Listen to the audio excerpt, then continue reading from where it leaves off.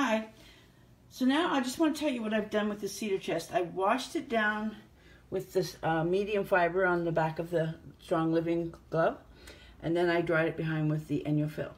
Then I put a skiff of the uh, leather and wood balm. Now this is made of beeswax, carnauba wax, and lemongrass oil and a touch of some kind of alcohol.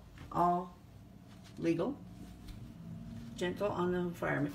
So now I'm going to use the polishing cloth and this is part of um, one of the Christmas um, specials. So this has been on for about an hour and you'd think this stuff would be sticky with all that wax but it is not. And if there's anything it will come up onto this cloth but it will just shine like crazy. And um, I did this to this uh, box about a couple years ago so if you have to only do this every two years, it's not too bad.